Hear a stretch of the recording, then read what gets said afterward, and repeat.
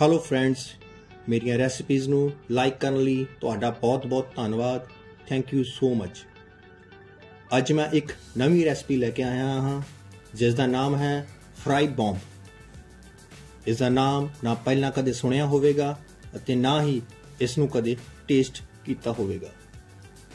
ਚਲੋ, ਆਓ ਸ਼ੁਰੂ ਕਰਦੇ ਹਾਂ ਸਨੈਕਸ ਫਰਾਈ ਬੌਂਬ ਇੱਕ ਵੱਡਾ ਪੈਕੇਟ ਮਸਾਲਾ ਪੋਟਾਟੋ ਚਿਪਸ ਦਾ। ਇਸ ਦਾ ਚੂਰਾ ਕਰ ਲੈਣਾ ਮਿਕਸੀ ਵਿੱਚ।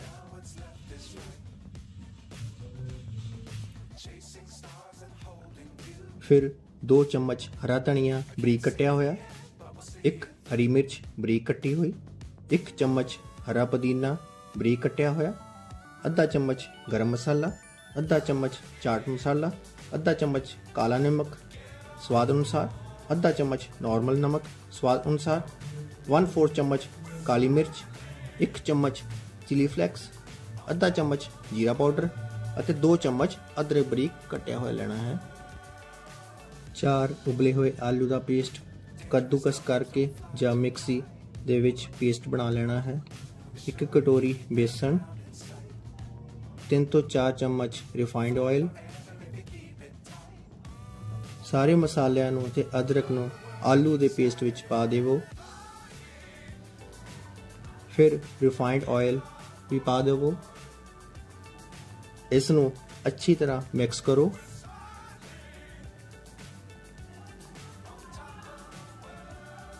ਅੱਛੀ ਤਰ੍ਹਾਂ ਮਿਕਸ ਹੋਣ ਤੋਂ ਬਾਅਦ ਪਟਾਟੋ ਚਿਪਸ ਦਾ ਪਾਊਡਰ ਇਸ ਦੇ ਵਿੱਚ ਮਿਕਸ ਕਰ ਦਵੋ।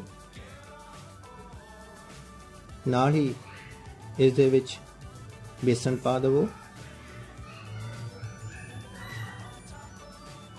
ਫਿਰ ਇਸ ਨੂੰ ਅੱਛੀ ਤਰ੍ਹਾਂ ਮਿਕਸ ਕਰੋ।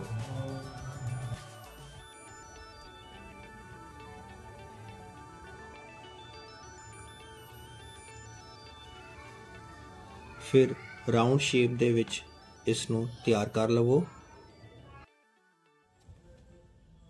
ਫਿਰ ਇਸ ਦੇ ਉੱਪਰ ਬਚਿਆ ਹੋਇਆ ਚਿਪਸ ਪਾਊਡਰ ਪਾ ਕੇ ਇਸ ਨੂੰ ਅੱਛੀ ਤਰ੍ਹਾਂ ਹਿਲਾਓ।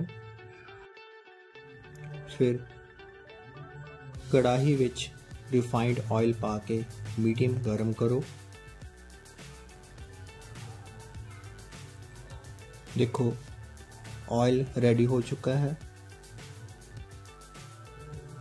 ਇਸ ਨੂੰ ਰਾਉਂਡ ਸ਼ੇਪ ਦੇ ਕੇ ਤੇਲ ਵਿੱਚ ਫਰਾਈ ਕਰੋ।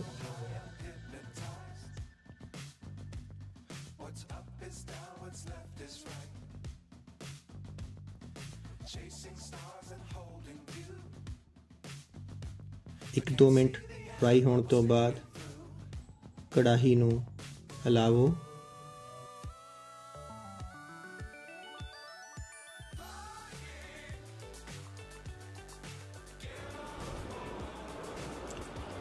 ਹੁਣ ਬ੍ਰਾਊਨ ਕਲਰ ਆ ਚੁੱਕਾ ਹੈ ਅਤੇ ਬਣ ਕੇ ਤਿਆਰ ਹਨ ਫਰਾਈ ਬੌਂਬ ਇਸ ਨੂੰ ਲਾਲ ਚਟਨੀ ਤੇ ਹਰੀ ਚਟਨੀ ਦੇ ਨਾਲ ਸਰਵ ਕਰੋ।